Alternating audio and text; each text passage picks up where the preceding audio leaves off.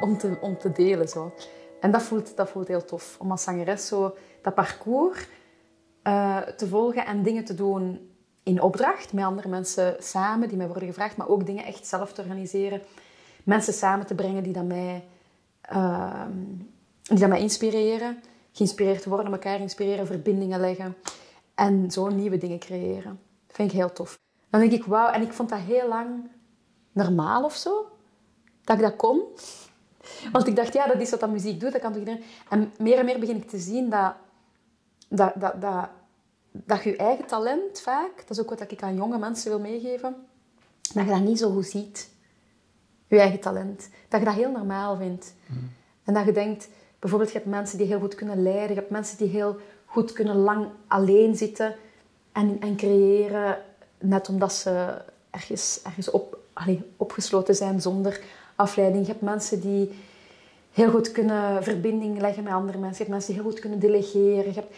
Maar zo dat echt zien van wat is mijn core talent? Waarvoor ben ik echt hier? Waar, waar ben ik echt goed in? Um, vaak zien we dat niet bij onszelf. Hm. En vinden we, dat heel, vinden we dat zodanig normaal, omdat dat zodanig dicht bij ons ligt, dat je denkt, ja, dat kan toch iedereen? Dat is... En ik heb daar redelijk lang over gedaan om dat te ontdekken met mezelf. Wat dat... En nu meer en meer begin ik te denken, dat is, iets, dat is wel iets speciaals hoor, dat ik dat kan. Dat ik mensen kan laten letterlijk dicht bij hun gevoel komen. Hm. En, en kan laten... Dat dat, dat, dat, er mag zijn, zo. Hm. Maar dat heeft mij zo wel wat tijd gekost. Ja? Ja. Maar, ja. maar dat maakt u gelukkig. Hè? Ja. hè? Want het Ja. begeestert u duidelijk. Hè? Ja. Hè? ja, dat maakt mij heel gelukkig. Nu, we hebben het over geluk en gezondheid en zo. Mhm. Maar vertel nou eens wat gezondheid voor jou is. Gezondheid ehm, is eigenlijk pas iets dat je beseft als je, het, als je het niet meer hebt. Dan heb ik het over fysieke gezondheid. Als je, ik, ik probeer dat elke dag te beseffen hoeveel geluk ik heb. Dat ik een gezond lichaam heb en dat ik dat moet eh, onderhouden. Dat ik dat moet verzorgen, dat ik dat moet eh, koesteren ook. Dat echt, echt, echt iets heel bijzonders is. Dit is mijn machine. Waar dat, Je instrument. ja, mijn instrument waar, dat ik, waar, dat ik, waar dat ik door leef. En als ik, als ik eh, dat is dan puur over het fysieke, maar als ik gezond eet, als ik mezelf gezond hou, als ik genoeg eh, water drink, als ik genoeg, dan, dan eh, hou ik die machine gewoon heel krachtig en kan ik, kan ik blijven ja, verbindingen leggen, geven, eh, dit, Functioneren. functioneren ja, met mensen.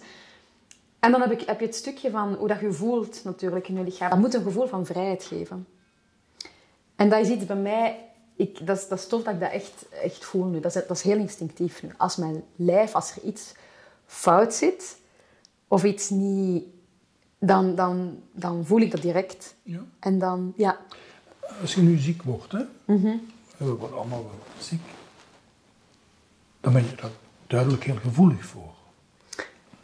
Ja, dat, dat hè, is als een... je- een, een, Als een- ik uit een goede conclusie trek. Maar wat doe je dan? Wat is jouw reactie? Wat doe je dan? Ehm, ik probeer in eerste plaats te voorkomen Ja. om ziek te worden. En als ik voel dat ik nog maar het minste ziek word, extra, extra aandacht geven aan, aan, mijn, aan mijn lijf.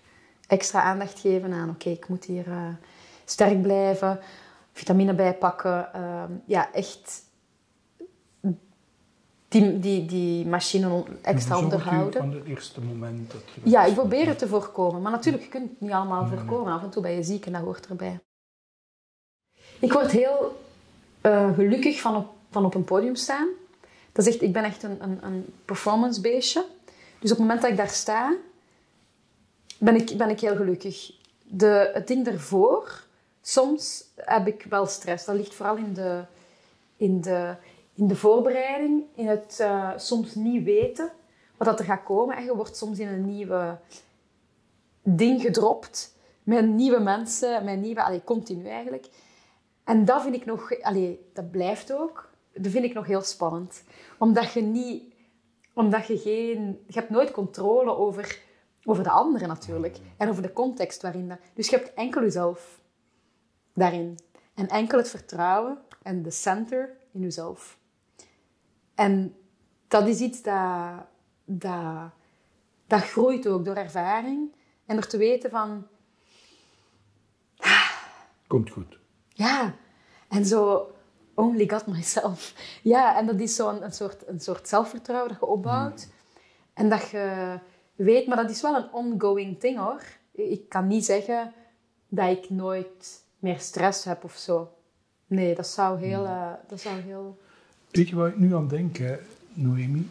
Ehm, hoe, hoe, hoe, kun je dat, hoe kun je dat elke keer opnieuw doen? Want uiteindelijk, ik kan me voorstellen voor een heel belangrijk optreden, hè, ben ik 100% mee. Maar als je dat twee, drie, vier keren per week moet doen, dat is toch niet zo evident? Nee, dat is waar. Het wordt natuurlijk op den duur ook een... een ehm, uw lichaam eh, went ook aan die, aan die soort eh gezonde... Dus het is ook niet altijd zo fel nodig. Ik bedoel, op den duur kun je ook... Maar het, het is wel iets dat als je voelt, het, het wil niet helemaal mee met mijn lijf, moet het wel doen. Moet wel s'avonds zeggen van, oké, ik ga hier... Pardon. Oh. Moet wel s'avonds even zeggen van, je moet hier even alles... En goed stretchen en echt voelen van, wat, hoe, hoe kan ik mijn eigen lijf terug aligneren en terug... Maar je lichaam went daar ook wel aan. Natuurlijk zijn er optredens die meer als een fluitje van een cent gaan en dat je denkt, ja, deze, dat zit wel in mijn lijf, I can do this. Natuurlijk zijn er optredens die moeilijker zijn, waar dat je meer voor... eh, Maar toch zijn, er, zijn die rituelen bij mij wel belangrijk. Ja, toch wel. Nu, welke raad geeft jij aan jonge mensen om in balans te blijven? Ik denk in eerste plaats... Denk ik als je 18 jaar bent, je hebt je, hebt je middelbare school afgewerkt. En ik vind vaak een 18-jarige moet, moet dan nog beginnen met dat te zoeken. En is zo slim geworden in zijn hoofd. En heeft zoveel geleerd, wat dat heel belangrijk is. En heeft zoveel intellectuele info opgedaan. Maar is vaak zo emotioneel of spiritueel zo... Ja, moet, moet hij nog beginnen zo daaraan? En Ja. dat is voor mij iets dat ik denk... Ah, had ik dat maar eerder iemand gehad... Ik heb dat pas bij Charlotte Margione gevonden, mijn, lerares in Nederland, mijn zanglerares in Nederland, die echt zo, maar ook hard kon zijn en kon zeggen van, nou, je hoge noten, dat is echt, zijn prachtig, echt heel mooi, maar eh, ja, dat medium van je, nee, dat is echt, echt helemaal niet goed. Nee, kan je... En ik ging echt wenend naar huis, maar eindelijk iemand die de waarheid zei en die mij ook zag als, ja, jij bent niet je stem, ik mag daar dingen over zeggen. En, en, ik, en dat- natuurlijk ben ik wel mijn stem. Allee, dat is, dat is verbonden. Maar tegelijkertijd is het ook heel gezond om, om je stem te zien als iets... Als je apparaat. En als iets dat je traint. En als iets dat je... Ja, gelijk een sporter zijn spieren traint. Is dat ook iets dat je traint. En dat je moet kunnen loszien van je, van je zelf, zelfwaarde. En dat was voor mij echt een, een zoektocht. Want dat was voor mij helemaal verwrongen met, me- met wie dat ik was. Doordat ik dat als kind ook doordat ik dat wat gepusht voelde als kind en zo. Dus ik heb me daar echt moeten van lostrekken. En zij was de eerste die dat zei. Nou, schat, ik, ik zeg je dat maar, dat ben jij niet. Dat is eh, zo, zo gewoon die daar kon op, op werken. En dat was zo gestroomd. Iemand die gewoon kon, oké, dit, dat, dat, dat, is iets. En nadien kan dat weer helemaal jezelf worden. En daarom, net het kan zien als iets dat daar is, kan je het ook net heel gezond delen. Dan kan je het ook maar ja, als jongere, ik zou... Ja, om, om, om heel vroeg je eigen kwaliteiten te zien. En die niet te zien als iets normaal. Want wat dat jij als heel normaal ziet, is vaak het meest bijzondere aan die persoon. Ik, dus ja, dat zou ik... ehm, dat vind ik iets heel belangrijk. Dat, dat je dat snel eh, ziet. En dat u... Dat u uw, uw lijf uw vehikel is. Dat je dat voor de rest van je leven hebt.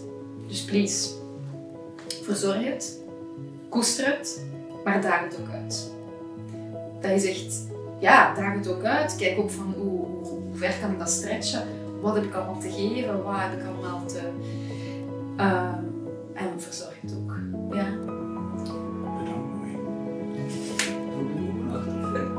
Ja. Yeah.